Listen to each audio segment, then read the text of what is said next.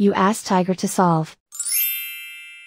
This deals with linear equations with one unknown. The final result is x equals 250 over 3. Let's solve it step by step. Simplify the expression. Find the greatest common factor of the numerator and denominator. Factor out and cancel the greatest common factor. Swap sides. Isolate the x.